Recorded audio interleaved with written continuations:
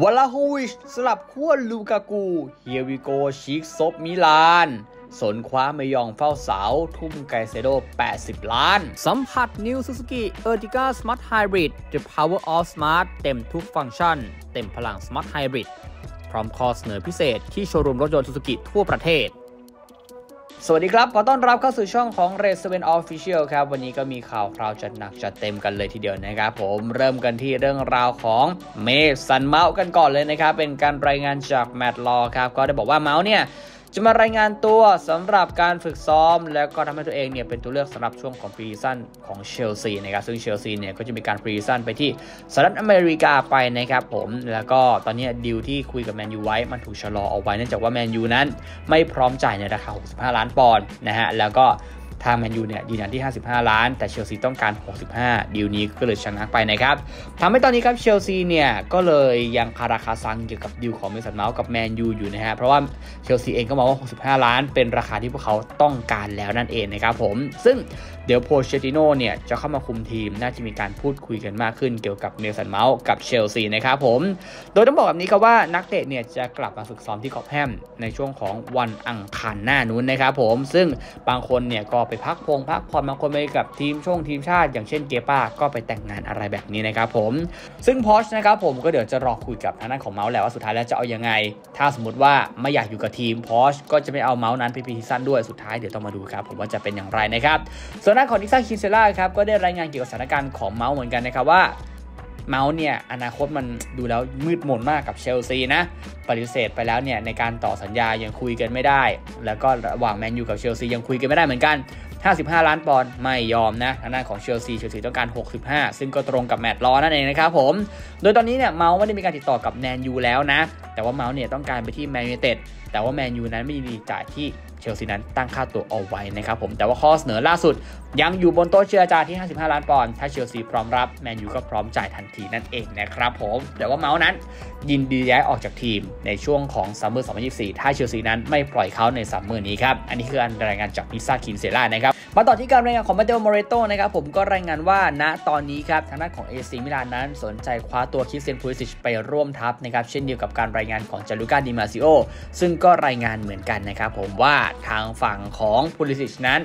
มิลานสนใจอย่างเต็มที่นะครับ แต่ที่แน่ๆแหละครับอีกหนึ่งดีลครับ here we go ไปแล้วครับ นั่นคือฟาบริซิโอโรมาโนครับ ก็รายงานว่ารูเบนลอฟตัสชีคครับ ก็เตรียมที่จะย้ายไปที่เอซีมิลานนะครับโดยค่าตัว 20 ล้านยูโรรวม add-on นะครับ 16 ล้านยูโรเป็นเงินต้นอีก 4 ล้านยูโรเป็น add-on นะครับผมลอฟตัสชีค here we go แล้วเตรียมย้ายไปที่ A4 มิลานครับ ก็ต้องมารอดูว่าสุดท้ายแล้วพูลิสิชกับลอฟตัสชีคนั้น จะย้ายไปร่วมทีมกันหรือเปล่าที่ซานซิโรนั่นเองนะครับผม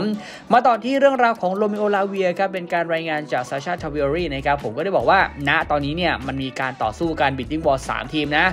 ลิเวอร์พูลกำลังพูดคุยเกี่ยวกับดีลนี้กับเซาแธมป์ตันในการดึงตัวลาเวียไปร่วมทัพกำลังหารือแล้วก็พูดคุยกันอยู่หาข้อตกลงกันอยู่ครับ ในการที่อาร์เซนอลครับความสัมพันธ์ดีที่สุดแล้วกับเอเย่นของลาเวียครับแล้วก็ตอนนี้ น่าจะตกลงเงื่อนไขส่วนตัวกันได้แล้วเหมือนกันนะครับผมตอนนี้ใกล้และที่จะพูดคุยกันในเรื่องของการย้ายทีมครับส่วนเชลซีครับต้องการตัวลาเวียมานานแล้ว ซึ่งได้มีการพูดคุยกับเอเย่นไปแล้วถึงอนาคตเกี่ยวกับเชลซีแล้วก็ตัวของลาเวียนะครับแล้วก็ตัวของโจชิล ที่มีความสนิทสนมกับลาเวียนั้น ต้องการดึงลาเวียมาที่เชลซีอีกด้วยนะครับผมแต่ในตอนนี้ยังไม่มีการยื่นข้อเสนอให้กับเซาแธมป์ตันแต่อย่างใดทั้ง 3 ทีมนะครับผมมาต่อที่การรายงานของบ๊อบบี้วินเซนต์ครับนักข่าวจากฟุตบอลลอนดอนครับรายงานว่าเชลซีนั้นยังคงทำเรื่องจะเซ็นสัญญากับมอยเซส ไกเซโดไบรตันเนี่ยตั้งราคาไว้ที่ 80 ล้านปอนด์ก็สำหรับดีลของไกเซโดแต่เชลซีก็มองว่าไม่ได้อยากจ่ายนะฮะ จริงๆเนี่ย 80 ล้านปอนด์ก็มีข่าวหลุดออกมาเหมือนกันว่าเชลซีก็พร้อมจ่ายนะ จากการรายงานของโรมาโนเหมือนกัน แต่วินเซนต์ก็บอกว่าเชลซีไม่ได้อยากจ่ายอะไรแบบนั้นนะครับผมแล้วนี้ครับทั้งสองทีมเนี่ยมองหาจุดกึ่งกลางให้ได้นะครับผมสุดท้ายแล้วจะเป็นอย่างไร เพราะว่านักเตะเองเนี่ยก็พร้อมย้ายออกจากไบรตันเหมือนกัน แต่ว่าประเด็นคือเรื่องของค่าตัวเน้นๆเลยครับ เพราะว่าค่าตัวที่แรงแล้วก็แพงมากๆทำให้ไกเซโดนั้นมีโอกาสย้ายในราคาที่ต่ำกว่า 80 ล้านได้น้อยมากครับ แล้วตอนนี้ครับมันกลายเป็น bidding war ครับ แมนยูอยากได้อาร์เซนอลอยากได้ แล้วก็เชลซีอยากได้ ไบรตันลูบปากกันเลยทีเดียวครับผม มาปิดท้ายที่เรื่องราวของโรเมลูลูกากูครับที่ต้องบอกว่า โอ้โห เป็นอย่างมากเลยเดียวนะครับผมเป็นการรายงานจากแมตต์ลอนะครับเขาบอกว่าเชลซีปฏิเสธข้อเสนอในการยืมตัวลูกากูจากอินเตอร์มิลานนะแล้วก็นักเตะเนี่ยไม่ตอบรับในการย้ายไปที่ซาอุดิอาระเบียนั่นเองครับอินเตอร์เนี่ย ก็มีแผนการเงินที่ดีขึ้นครับ ถ้าสมมติว่าขายอันเดรโอนาน่าได้ ซึ่งโอนาน่าเนี่ยล่าสุดมีข่าวกับแมนยูว่าเทนฮากนั้นอยากได้ค่าตัวราวสัก 34ถึง40 ล้านนั่นเองนะครับผม โดยนั่นตอนนี้ครับ ที่สำคัญคือยูเวนตุสครับ ให้ความสนใจลูกากู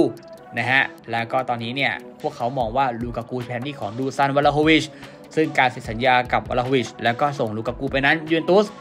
เหมือนกับว่ายิงปืนนัดเดียวได้นก2ตัวเลยนะครับ เชลซีก็จะปล่อยได้นะฮะ แล้วก็ทางฝั่งของยูเวนตุสเนี่ย ก็จะได้ตัวลูกากูมาร่วมทัพ แล้วก็เป็นการปล่อยวาลาโฮวิชออกไปจากทีมด้วย เพราะว่าทางด้านของยูเวนตุสนั้นก็มีปัญหาเรื่องของการเงินอยู่เหมือนกันนะครับยูเวนตุสเนี่ยก็เลยต้องการปล่อยตัวทางฝั่งของวาลาโฮวิชออกจากทีมเช่นเดียวกันนะครับก็เรียกว่าถ้าปล่อยวาลาโฮวิชไปได้ลูกากูมาแทนนั้นยูเวนตุสก็โอเคเหมือนกันนะครับผมก่อนหน้านี้ครับก็มีข่าวว่าเอซีมิลานเนี่ยต้องการตัวลูกากูไป แต่ข่าวก็เงียบไปแล้ว ก็น่าจะเป็นข่าวลือซะมากกว่านะครับผมเดี๋ยวมารอดูครับว่าดีลนี้มันจะเป็นอย่างไรนะครับผมเพราะว่าตอนนี้ครับเชลซีเนี่ยเปิดโอกาสถึงความเป็นไปได้ที่ลูกากูนั้น จะกลับมาภายใต้การนำทัพของโพเชติโนแต่ดูแล้วเนี่ยทางด้านของลูกากูเองไม่ได้อยากย้ายลูกากูเนี่ยอยากอยู่ที่อิตาลีมากกว่า เพราะฉะนั้นครับตอนนี้เนี่ยดีลของวาลาโฮวิชกับทางด้านของลูกากูอาจจะเป็นไปได้ ถ้าทั้งสองสโมสรนั้นตกลงข้อเสนอกันได้ และถ้าสมมติว่าลูกากูนั้นยอมย้ายไปที่ยูเวนตุสเพราะว่าก็อย่าลืมครับว่ายูเวนตุสกับอินเตอร์มิลานนั้นเป็นอริกัน ถ้าย้ายไปน่าจะมีปัญหาพอสมควรครับ สถานการณ์ของลูกากูตอนนี้ครับ ก็ ไม่น่าจะ pre-season กับเชลซีที่สหรัฐนะครับผมแล้วก็เชลซีเนี่ยปฏิเสธการยืมตัวจากอินเตอร์ถ้าอินเตอร์ต้องการตัวต้องซื้อขาดเท่านั้นนะครับผมแล้วก็ตอนนี้ยูเวนตุสสนใจในการดึงลูกากูไปร่วมทัพและสมมุติว่าดีลกันได้มีโอกาสย้ายทีมสูงมากๆครับเพราะว่าสิ่งที่ลูกากูต้องการในตอนนี้คือเล่นที่อิตาลีเขาไม่ต้องการย้ายกลับไปอังกฤษกับเชลซีนั่นเองนะครับผมเดี๋ยวมาเราดูครับว่าจะเป็นอย่างไรครับเพราะแมตต์ลอว์เองเนี่ยก็ได้อัปเดตนะครับว่าเชลซีเนี่ยต้องการมิดฟิลด์ผู้รักษาประตูแล้วก็กองหน้าครับแล้วก็อีกหนึ่งตำแหน่งที่แมตต์ลอบอกว่าเชลซีต้องการคือตำแหน่งผู้รักษาประตูครับไม้เมยองครับตอนนี้ได้รับความสนใจจากเชลซีอยู่ครับแม้ว่าทางด้านของพอชนั้นต้องการให้เกป้าเป็นมือหนึ่งแต่ถ้าได้เมยองเข้ามาแบบนี้ ก็อาจจะมาเบียดแย่งกับเกป้าเป็นการแข่งขันภายในทีมได้เป็นอย่างดีครับ เพราะว่าล่าสุดเนี่ยเราก็ไม่ทราบนะครับว่าดีลของชีกดีลของปูลิสิตเองเนี่ยอาจจะมีความเป็นไปได้ว่าเกี่ยวข้องกับดีลของไมเมยองเพราะมิลานถึงแม้ว่าไม่ได้อยากขายแต่นักเตะนั้นต้องการย้ายทีมดีลนี้ก็เลยมีโอกาสเป็นไปได้เหมือนกันครับพี่เห็นอย่างไรกับข่าวคราวในวันนี้คอมเมนต์ไม่ได้ครับฝากกดไลค์กดแชร์ติดตามช่องของ l e s b e n Official รายการนี้ลาไปก่อนสวัสดีครับ